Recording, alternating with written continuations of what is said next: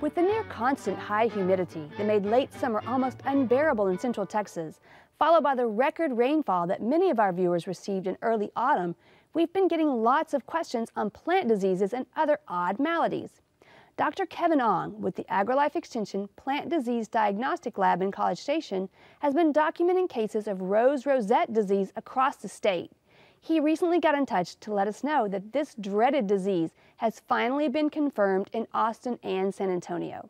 Sadly, there's no treatment at this time, and infected roses should be dug up and sent to the landfill.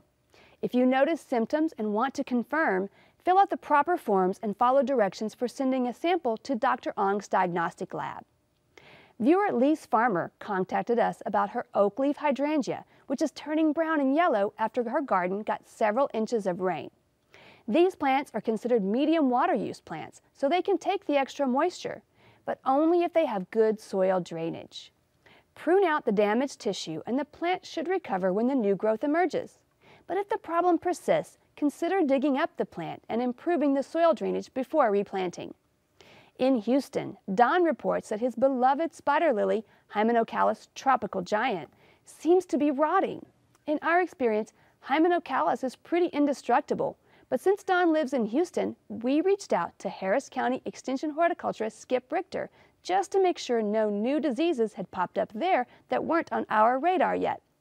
Fortunately, Skip agreed with our conclusion that Hymenocallis is one of the least disease-prone plants out there and has even seen them thriving in soggy ditches in Houston's heavy clay soils. It appears to me that all this beautiful plant needs is to be divided. It's pretty monstrous, so you might even consider passing some of it along to friends and neighbors. And finally, CTG cameraman Steve Madel spotted this cool mushroom growing in a container with his Concord grape and wondered if it was hurting his plant. At the same time that Steve noticed his mushroom, I found some in my containers as well, and also started seeing photos of colorful fungi all over social media. As we've said in the past, fungi mostly feed on already dead, decaying organic matter, so these mushrooms, in essence, aren't directly hurting the plant they're growing alongside. But their presence does indicate that the soil is staying too wet, which can mean sudden death for a container-grown plant.